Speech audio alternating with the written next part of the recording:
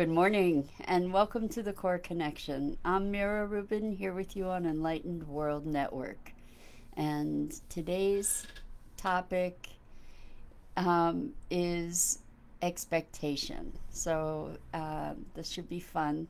And I want to take a couple minutes with you before we get started to just settle in. So let's take a deep breath in through your nose and hold it.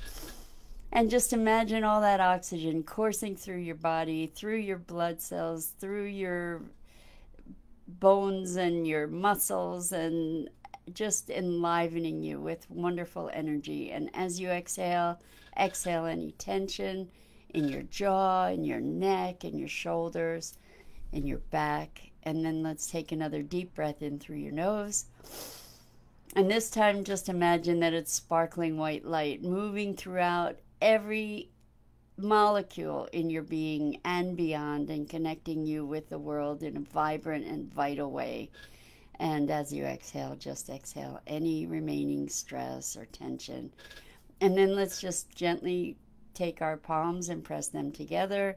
Softly, softly rub your fingers against your palms so that you can feel the tickling sensation in your palms and in your fingers and just bring yourselves present to being in this body right here, right now, and welcome. So, uh, good morning, Dido. so glad to have you here, and welcome to everybody else who's joining us. Today, we're going to speak about expectation. So, let's have a conversation.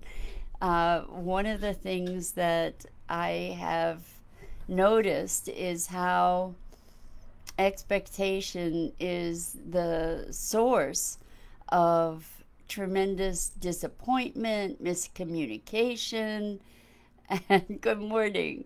Um, so, in I, recently had a um, I don't know what we'll call it an uncomfortable conversation, disagreement uh, that ended up in hurt feelings and and uh, in thinking back about it and actually in trying to address it at the time that it was occurring, what I endeavored to expose for myself and the folks that I was engaged with was the expectations that may have been driving our disagreement or our disappointment or our upset. And um, it's it's interesting because I believe that we often operate out of unconscious expectations. So when we get disappointed or when we get upset with someone, it's because maybe they didn't do something or say something that we thought they should have. And um, they didn't feel the way that we expected them to. They didn't say the things we wanted them to. And and these these are expectations. So i'm going to ask to um, ask you to look at expectations you might have. Let's forget about others for the moment but this is a way that we create a lot of self-punishing is with expectations. And then we set these expectations consciously or otherwise. And then when we don't meet the expectations, we get all bent out of shape and upset with ourselves. So let's look at the kinds of expectations we have of ourselves. And um, especially as we are. Uh, being spiritually oriented people with intentions to live uh, out of love and connection and in our highest vibration. Uh, maybe you have an expectation of yourself that you never get angry or that you accomplish a certain amount of things in a day or that you're um, you're you're uh, emotionally balanced all the time.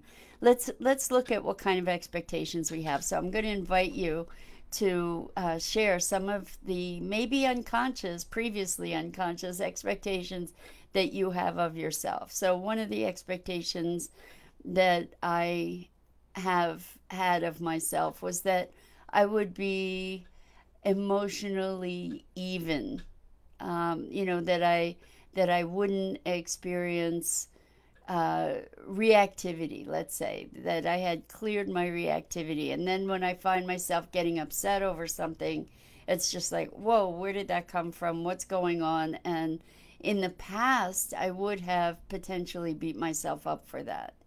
And um, now I'm looking a little bit more deeply into it to say, well, what's up? What? Why am I feeling upset with myself now? Oh, there was an expectation oh, what were the mechanics? Uh, anyway, I get into this whole thing. But let's look at the expectations we have of ourselves. You know, like if you're a parent, maybe you expect yourself to be able to maintain a sense of calm with your kids, or um, if you are uh, doing a lot of things. Maybe you have an expectation that you're going to get X amount done in a day, and then when you don't get it done, it's a cause of upset for you. So, where I'm losing my voice this morning, excuse me, I brought it back. Uh, where in your life do you notice expectations that cause you discomfort? Expectations of yourself. Let's start with expectations of ourselves. So let's say there's a certain amount of things you need to do in a day, or when I have a certain amount of things I need to do in a day, and I don't get them done, and I still have things to do, and I coulda, woulda, shoulda done it different, um, then then I could be using that as an opportunity to beat myself up about my choices. I should have done this. I should have done that. So, is there is there any place in your life right now where you're seeing that you have some upset with yourself? And if there is a place in your life where you have some upset with yourself, look at what is the underlying expectation. So, in this uh, altercation, I'll call it an altercation that I had with these other folks, um, what I recognized first is that I had an expectation of myself that I would be able to communicate clearly and, and without feeling emotionally reactive. And um, I, looking at my reactivity, I initially fell into self blame around that. And like there was something um, I should have. I should have been able to keep my cool. I should have been able to respond out of connection and love instead of reactivity and, and upset. So that was an expectation that I was imposing upon myself instead of allowing my allowing what actually occurred to occur. So um, thank you, Dido, for engaging here. She says, I expect that I should be kind and caring. Exactly. I also expect that I should not make any mistakes at work. If I don't meet these expectations, I get upset with myself. So that's perfect example. A couple perfect examples. I expect of myself that I should be kind and caring. And any any thought even sometimes like well, if we have a thought that's unkind or a thought that's uncaring then we become the thought police and we beat ourselves up for having that thought um, rather than just noticing it and say oh isn't that interesting? and letting it go and realizing that we don't have to be attached to it. Um, or if we see ourselves uh, being impatient then we might judge ourselves for not being as kind and caring as we imagine ourselves, uh, as we believe ourselves to be or how we should be. And um, I also expect that I should not make any mistakes at work. So I want to I want to address this um, perfectionist tendency, and it's not just to you, Dido. It's to me and to everybody else who believes that uh, we should be perfect and we should always do it right, um, right with a capital R. And um, one of the things that I've learned that has been such a gift is to allow yourself to take massive imperfect action. So what does that mean? It's like we I know that I'm a I'm a, I consider myself a recovering perfectionist. So I used to not do a whole lot of things because I was afraid that I couldn't do them right, or I couldn't do them perfect, or I couldn't do them well enough. And it was completely paralyzing for me. And so, what I have learned is that it's better, usually, I mean, there might be one or two circumstances where you don't want to do something imperfectly versus not do it at all. But in for the most part, when we're trying to uh, create results um, when we're trying to accomplish things it's it's often better to just be in action and if there are errors you fix the errors and become unattached to like unattach your self-worth from the errors that you might make. Good afternoon, Hope Wellington Marshall. I'm saying good afternoon because Hope is in another time zone. so I'm. This is being broadcast from East Coast uh, time. And Hope, where are you located again? That it's afternoon where you are. Anyway, thank you for joining us. It's great to have you back. Um, we're talking about expectation and how expectation is our ruination. so, um, with all these expectations and uh, expecting yourself, for instance, Dido was sharing that she expects herself to be perfect, essentially. And uh, I was talking about perfectionism and how I have made, oh, okay, so Hope's in England. Wonderful. Well, well, great to see you from across across the waters here. Um, it's better to be in action and i can tell you that i as i as i've adopted that um, that perspective and that policy i have had many occasions to um, be humble because i've had many mistakes to correct however i also have had many many more uh, or or much greater impact in the world because I did take action, and um, doing it uh, even with a mistake, whatever that thing is, most often those mistakes can be corrected. And Dido's here from England as well, except that she lives in Colorado. so welcome, Dido. Um, again, across the water. That's awesome.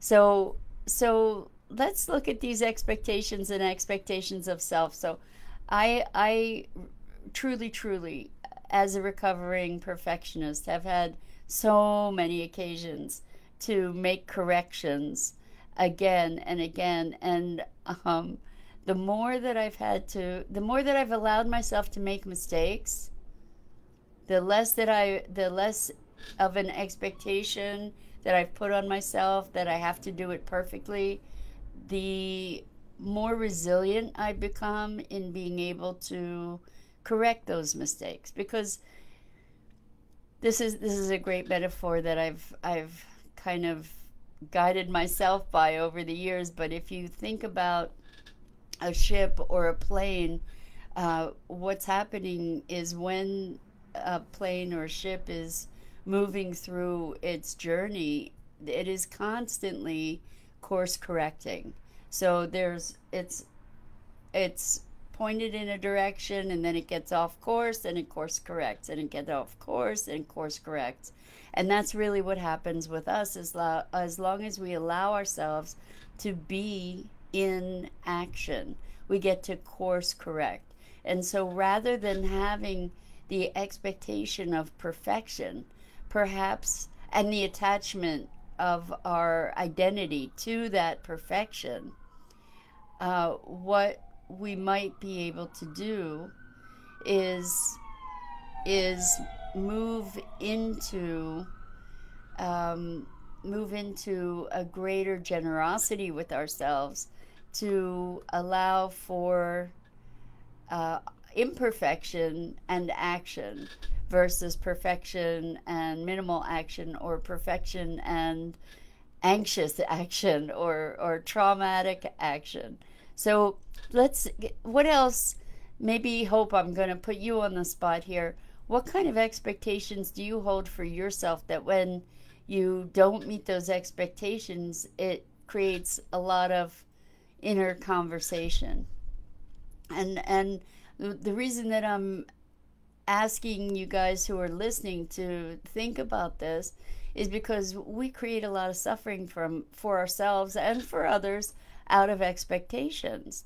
So with this group that I had this uh, kerfuffle with, um, we there were expectations that were unspoken that didn't match. You know, um, I had an expectation that things were going along based on our original agreements, and um, other people had an expectation that there would be a certain level of um, of engagement externally through social media um, from our group. And anyway there was there were expectations that we didn't hold in common that we had never spoken. And so as a result when when those expectations collided we got to see that um, we got to see conflict and w- one of the ways to move through the conflict is to identify, dig a bit deeper, and identify the expectations. And that can help to untangle the hurt that might be underlying these expectations that weren't met. So I'm, I'm just inviting you, please share share some kind of expectation. I mean, this might be um, this might be a little close to home, but you know, let's let's dig deep and share what kind of expectation you might have of yourself that um, that sometimes you disappoint yourself and therefore uh, you cause pain. And so the reason that I'm asking for this is because there's a way that we can transform it. We can transform it by looking at, well, what is that expectation and how can I recreate it in a way that is life affirming instead of uh, inhibiting. So let's think of other expectations. Um, maybe I expect myself to exercise on a regular basis, and um, a, a, week or a day or a week goes by, and I don't get to meet the uh, expectation that I set for myself, I can set myself up for disappointment in that way. Um, then we have the conversation about should. And the thing I invite you to look at with these should conversations is whose voice is that should coming from? Like, where did it really come from? Who says it should be that way? Who says? Usually, if we start looking at our shoulds, what we find is that they don't originate with us. You know, um, you should work hard. Who says you should work hard? Good morning, Jennifer. Welcome. We're talking about expectations, and uh, now we've just moved into the link between expectations and shoulds. And when we presence ourselves to the expectation and the should that's attendant with it, we get to ask, who says? Who says that that's how it should be? Like I should work hard and I'm lazy because I don't work hard. And what is working hard anyway? And who says that that's how it should be? And who says I'm lazy if I don't work hard? And do we really need to work hard? Maybe we need to uh, give ourselves the opportunity to do our work from joy and and ease instead of hard. So help me out here and let's let's talk about expectations of self and others. You know, maybe uh, if I'm living with somebody, I expect them to clean up after themselves if they use the kitchen, for example. And um, I live alone, by the way, and my cat, well, me and my cat, and she doesn't clean up very well.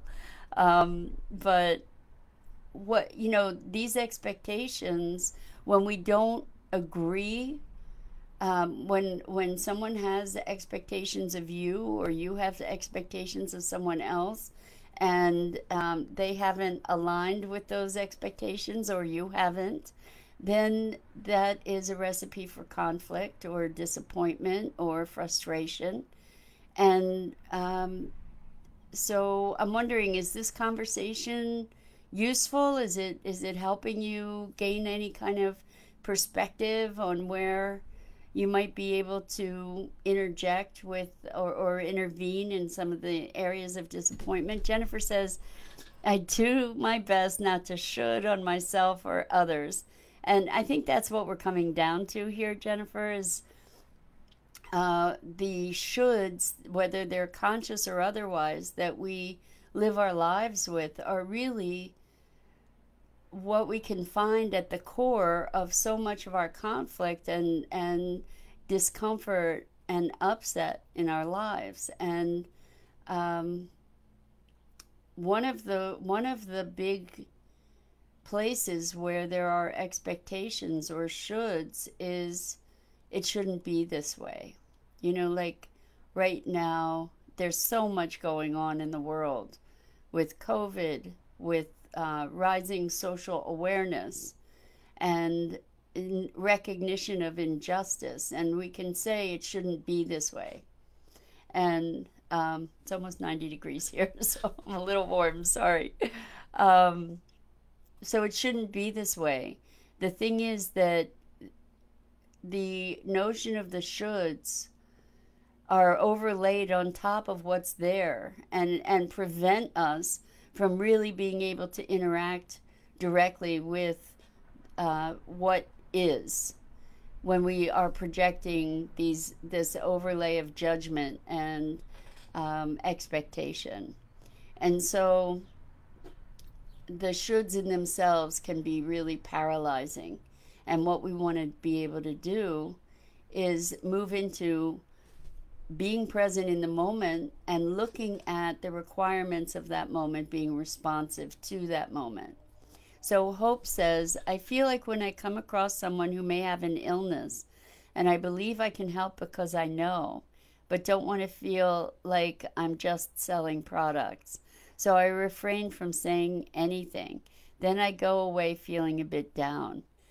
So, there's an expectation that you should help it sounds like hope.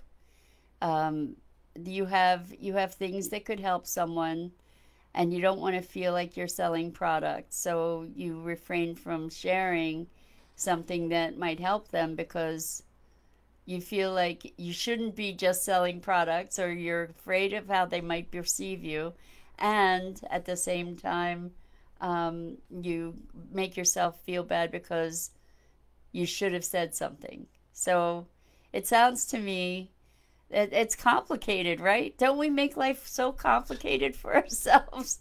It's crazy, right? If you have something that you believe is going to help someone, if you're coming from a place of of heart and connection with them, you can always ask permission. You can say, "Hey, um, I have something I think that could really help you. Are you interested?"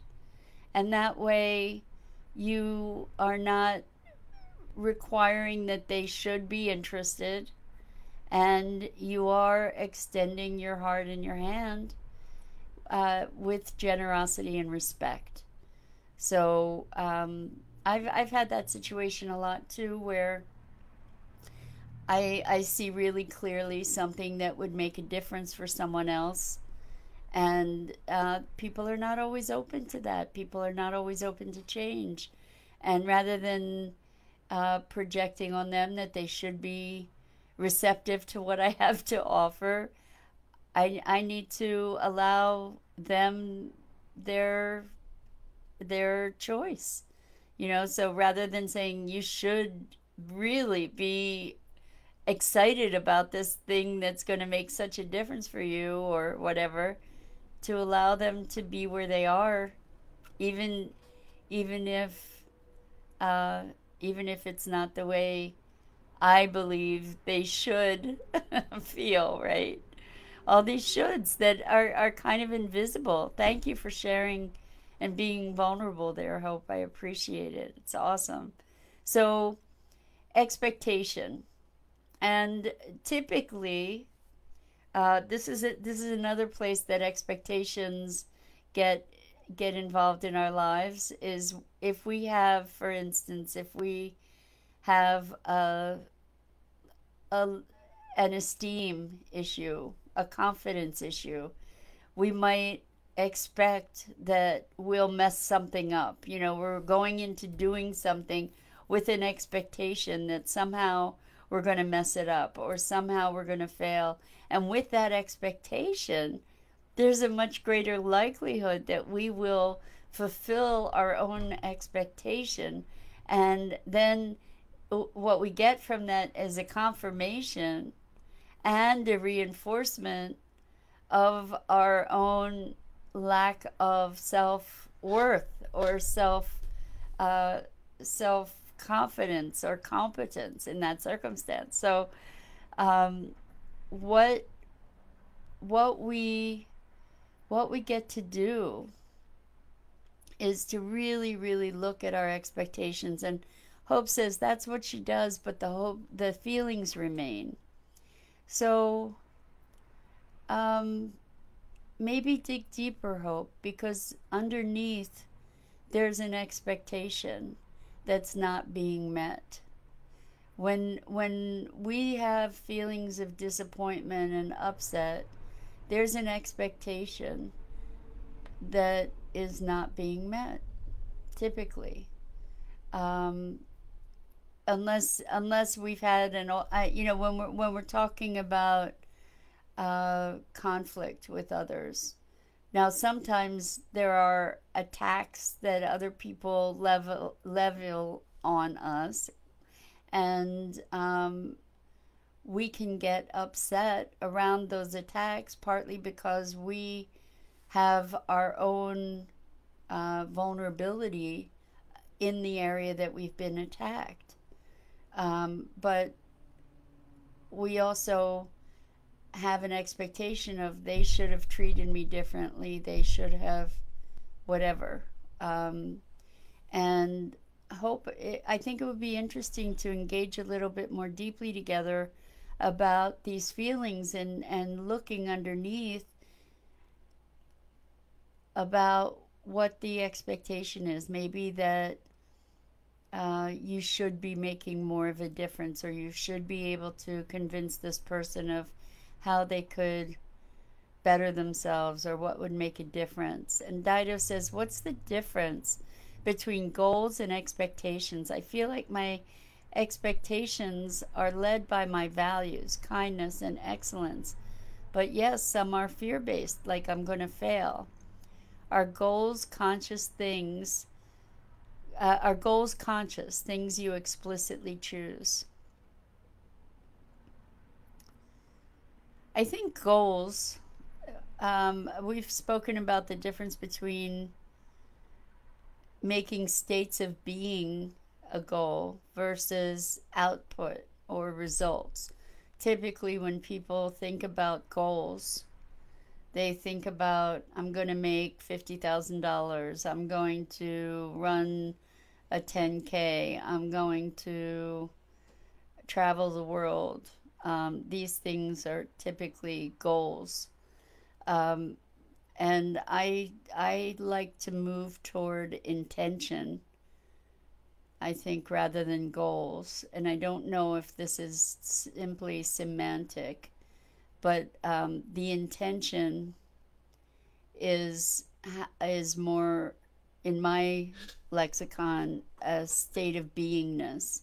So um, I'm I'm going I'm enjoying bringing myself to a greater experience of fitness. And the result of that or the byproduct or the feedback of that is that i'm running a 10k um, whereas the process is the focus and the output is the feedback or the res- the um, byproduct.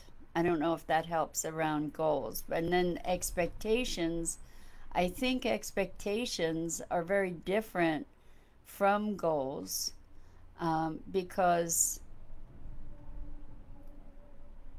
they're not they're often not conscious and i don't I, I don't know. I mean i hear what you're saying that expectations are led by your values like where you expect yourself to be um, kind and um, loving. I think that that can be better set as an intention. Okay, so my intention is to be kind and loving, and I expect myself to do that. And when I don't do that, I'm disappointed because of the expectation. And I, th- there's a, I think there's a really fine nuance here between expectation and intention. Because if I have an intention, I may not always meet that intention. The expectation is the judgment, is like I expect that of myself and when I don't meet that expectation, then I'm a disappointment. Then I've failed in some way. And so, back to you, Hope. I think um, that the, there's a disappointment, perhaps, like the feelings that you're still having are a feeling of disappointment.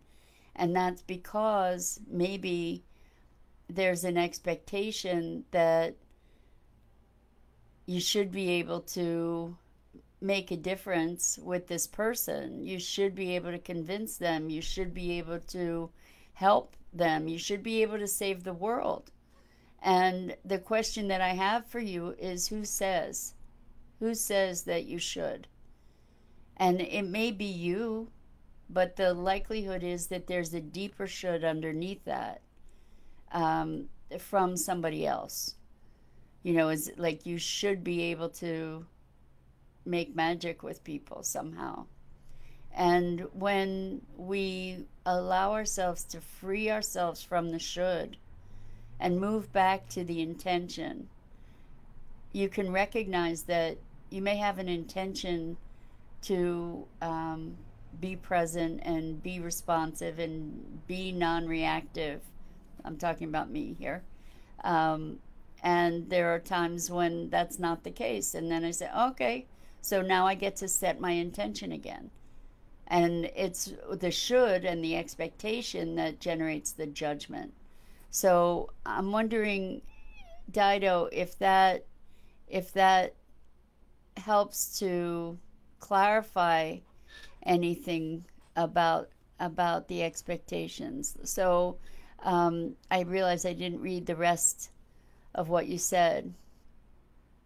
Um, our goals, conscious things you explicitly choose, and expectation, unconscious shoulds running in the background. That's kind of what I feel like eh, um, is the distinction, Dido.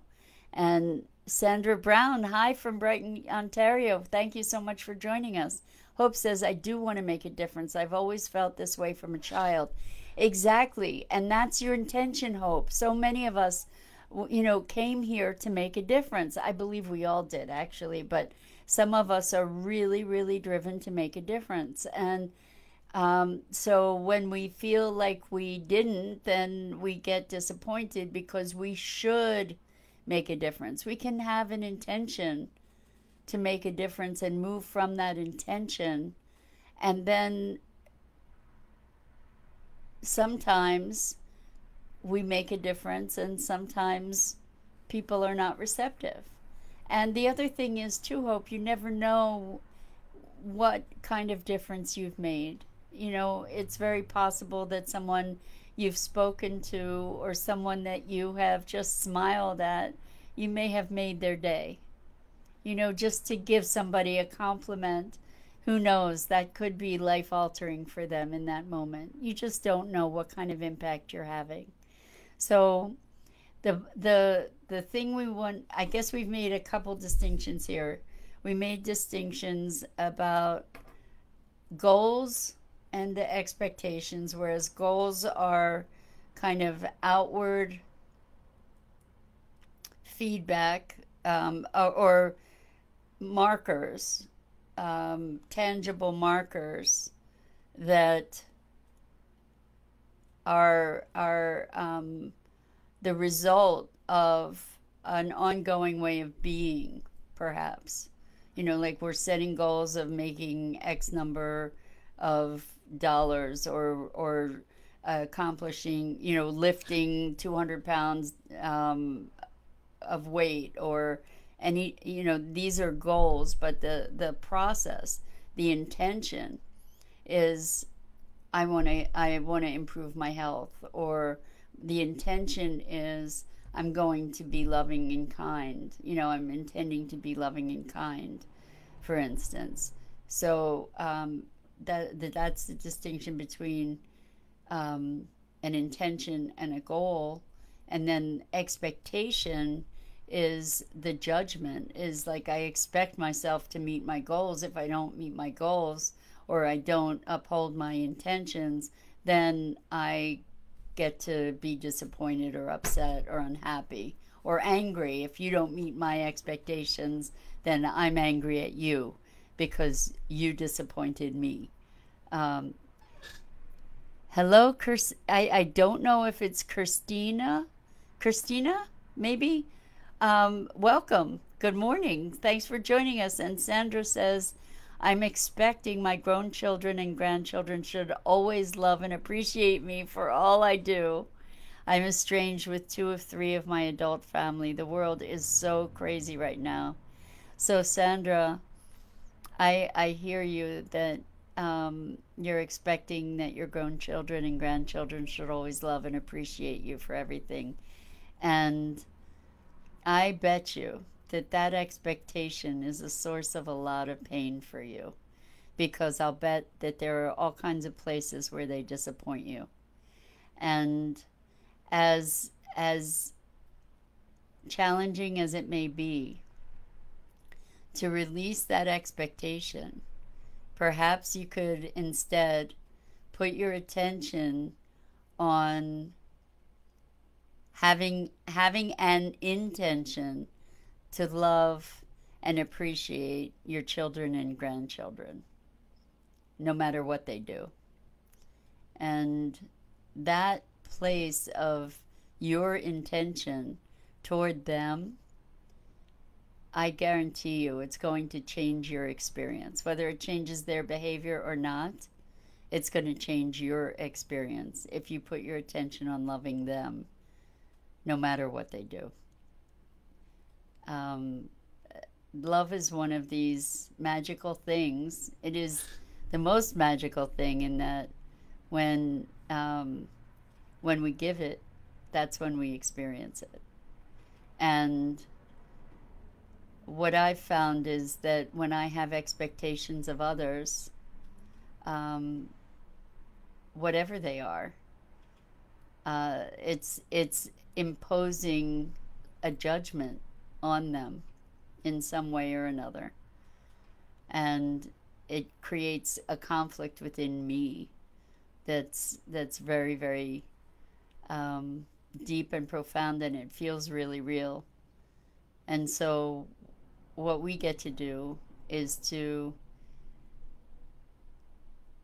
when we want to receive instead if we focus our attention on giving you know and i don't mean um, giving all your energy because you want attention or or whatever because you you want that energy back. I just mean in this in this situation around love an expectation of love from others that the the freedom comes when we just instead love them and it doesn't mean making yourself a victim of them it just means whether you even talk to them or not, to love them from where you are and to experience your love for them that enriches your heart.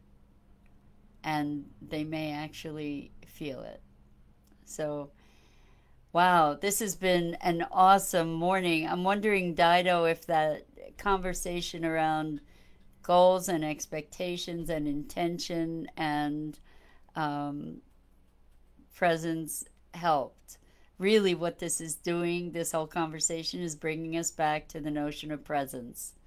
And um, that's what it all comes down to is when we release ourselves of judgment and expectation and shoulds, then we get to be more present to what is and and, and more accepting and as we actually open-heartedly embrace and accept what is um, life becomes a much richer fuller fulfilling joyful experience so I just want to say thank you to all of you who played this morning and everybody who's listened and listening and and it's just such a gift to share this time with you.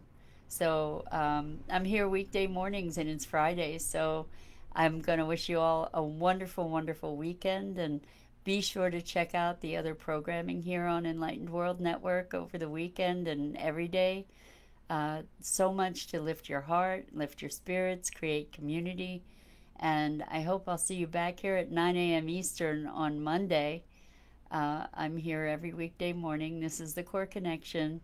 And um, Dido says before I wrap up, uh, I'm so grateful for those distinctions between goals, intentions, and expectations, and write them, wrote them down to refer to and use. Well, thank you, Dido. I don't know if everybody in the world has the same definitions around it that I do, but I have found those distinctions to be helpful, and hopefully you will too. And uh, Jennifer says, accepting what's been, uh, what is, has been enlightening for me. I'm open to love and receive love.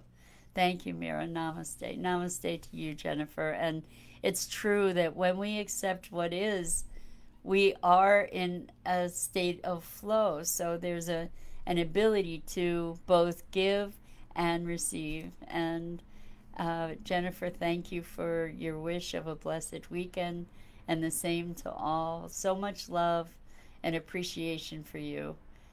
Have a great weekend.